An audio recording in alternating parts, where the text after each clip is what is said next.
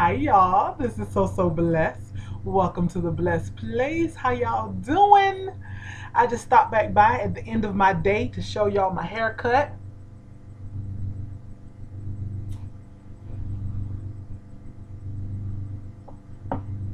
Yeah, I'm pleased.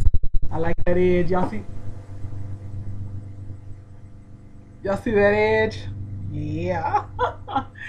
Anyways, I just stopped by number one to show y'all my haircut and my edge, and um, like I said, I colored it before I went and got it cut. And then the other thing I wanted to um, share with y'all was I'm so sick of this chair. Anybody want to donate a chair? okay, let me move the camera since my chair is going down.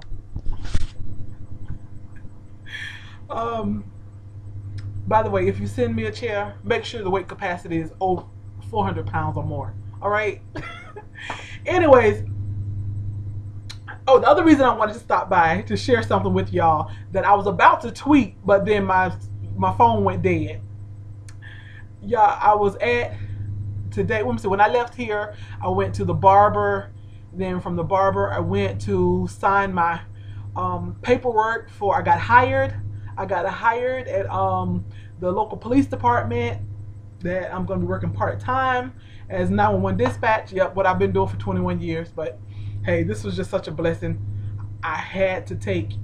It was just like the Lord was just handing it to me on a silver platter. And like what my, mom said, you don't look you don't look a gift horse in the mouth, something like that, whatever that means.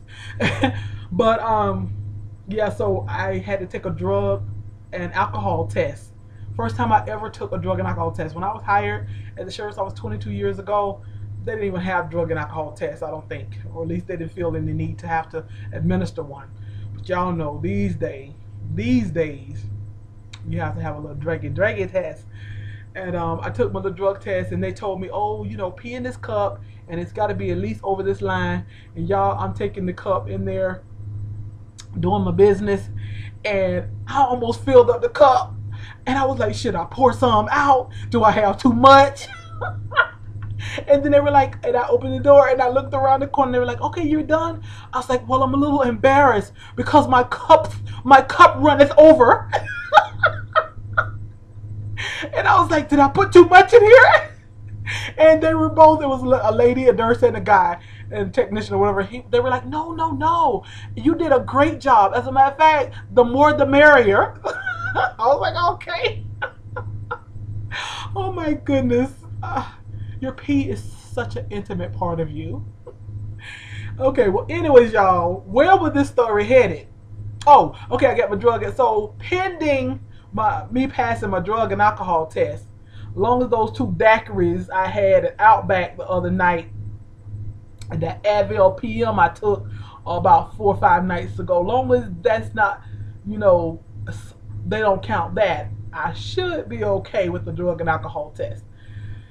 But this story was not about me getting higher. What was, oh, just telling y'all what I did today. So I went to the barber, went and did that, the drug and alcohol test, and went and saw human resources and signed my paperwork.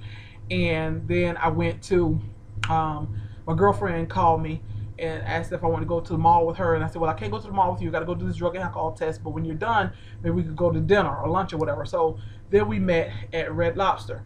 Well, I'm sitting at Red Lobster waiting on her to get back from the mall. And I my battery was going dead. So I was like, let me call her and let me call my husband because this, my cell is going to be going going dead. So I called her, let no, my cell's going dead, but I'm here sitting inside I'll be here when you get here.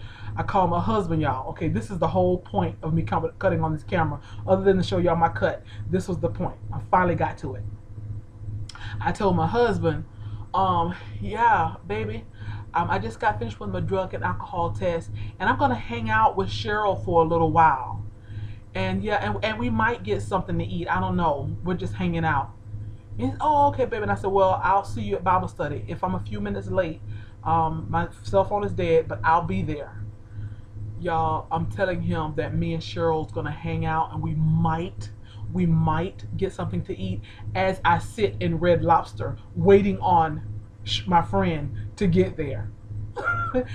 the reason I said I'm hanging out with my girlfriend and we might get something to eat as I sit there in Red Lobster is because y'all, this is the fifth day in a row. I did not want my husband to know this is the fifth day in a row that I have gone out to eat. Y'all, Saturday I went went to this soul food restaurant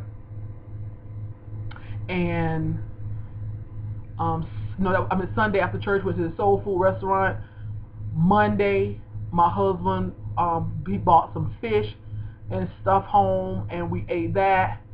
And Tuesday, um, I think I had Subway sub, and Wednesday I had Outback, and then I went to an ice cream shop, and then today Thursday I had Red Lobster.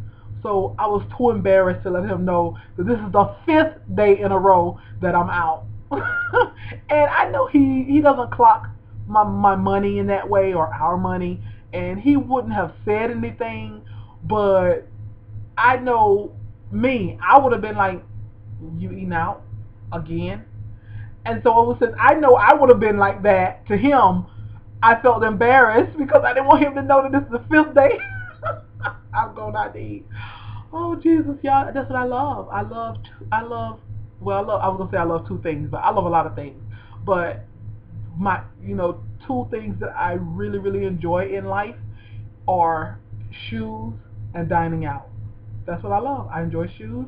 I enjoy dining out, and you know I enjoy a few other things. Uh, food, food, yeah, dining out.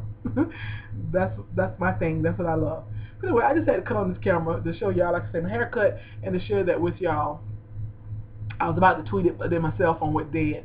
Speaking of Twitter, y'all, I got my husband a Twitter account, Mr. So So Blessed. That is Mr. M R S O S O Blessed B L E S S E D. Mr. So So Blessed.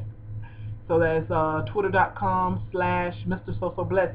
So y'all, if y'all want to um, get daily updates um, on the crazy, funny, hilarious, sweet, endearing, loving, silly, um, ill-pronounced things that he say, then follow him on Twitter. Also follow me on Twitter, so so blessed one. He is hilarious, and I just want to share that with the world. All right, y'all. Y'all be blessed. Love y'all. And y'all, um, yeah, just be blessed. Bye.